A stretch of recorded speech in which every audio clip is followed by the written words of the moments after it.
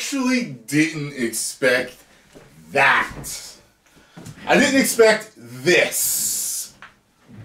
This says that Ant Man and the Wasp Quantumania is getting the worst reviews for Marvel for the Marvel Cinematic Universe since Eternals. Didn't expect that. I mean, oh, damn. Now, um, I was watching the Reel Rejects. Greg Alba got out of the theater and he was like, like, I can tell he, so he was conflicted in his mind. I guess he didn't know exactly what the, I haven't watched any reviews. I will not watch any reviews until I see it myself. Then I will watch reviews after that.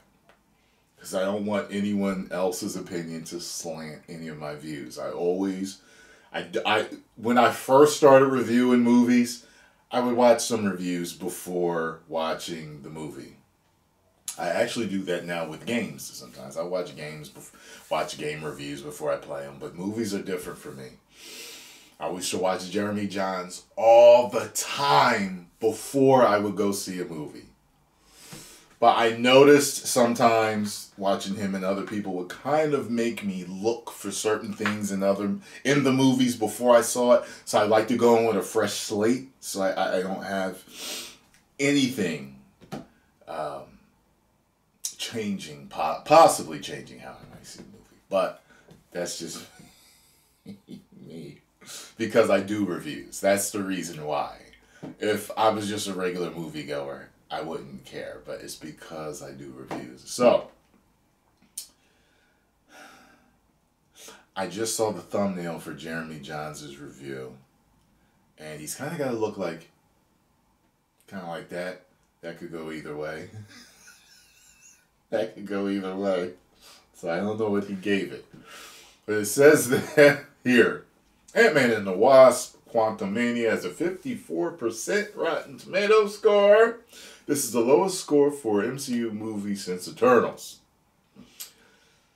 I don't know what they were thinking with Eternals. Ant Man and the Wasp Quantumania is arguably the most anticipated movie of the year. Like, no, it's not.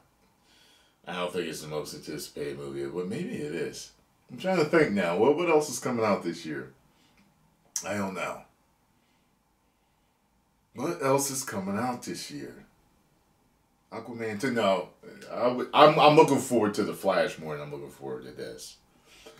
Anyway, Marvel Cinematic Universe, new big bad ahead of two Avengers. Okay. Oh, but the sequel is already getting the worst MCU reviews since The Eternals. The movie sees Paul Rudd's Scott Lang jump into the quantum realm with his daughter, Cassie Lang, as they get involved in a revolution against Kang. But even Major's time traveling villain can't save Quantumania from a slew of negative reviews. I did hear that Majors is the best thing about it. I did hear that. And he's a great actor. I was assuming that he might be, you know. Uh, making it the second MCU movie to be rated rotten on Rotten Tomatoes with 54% critic score as of Wednesday morning. Comparatively, Eternals has 47% critics score on Rotten Tomatoes and an audience score of 77%. Insider's own review calls the movie fun but clunky, pointing out that the script struggles to keep the things flowing in a way that doesn't give the audience whiplash. Insider, however, praised Majors for being an intimidating presence as Kang and giving the movie a genuine sense of gravitas. Meanwhile, the Washington Post says that the charm of the Ant Man franchise has worn off in the third film. I'll say this. Um, I think that the fans, the audience, usually disagree with the critics, so holding out. you know, um, even though I do movie reviews, I, I see movies more of as, as a fan than a critic. So, um, yeah.